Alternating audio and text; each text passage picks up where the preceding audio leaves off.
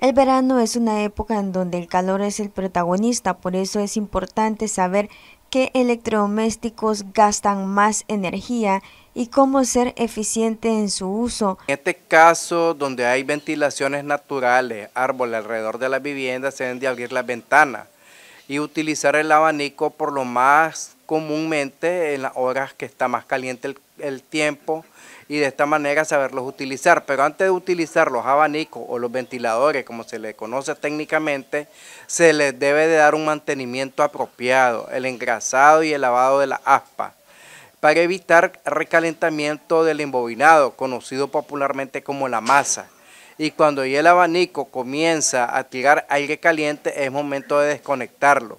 De igual manera sucede con los abanicos que tenemos en los respectivos cuartos porque hay casas donde hay dos hasta tres abanicos en un cuarto. Entonces, también darles el mantenimiento. Hemos visto que en el transcurso de la semana pasada hubieron varios acontecimientos donde hizo falta el mantenimiento apropiado de los circuitos internos dentro de la vivienda. Cuando no están apropiados técnicamente, como mandate el código 100 de la industria eléctrica nicaragüense, se recalientan los conductores y se dan accidentes, como son los incendios, donde hay pérdidas materiales e inclusive vidas humanas, pero esta vez hemos visto que no hemos, no hemos perdido vidas humanas, simplemente materiales, y esto perjudica la economía del entorno familiar Arriola enfatizó que marzo y abril es donde se consume más energía por los fuertes calores y también es donde hay aumento de reclamos por alza.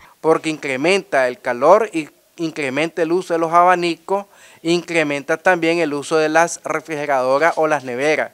¿En qué consiste? Que estamos abriendo constantemente las refrigeradoras o las neveras y no sacamos los productos de una sola vez.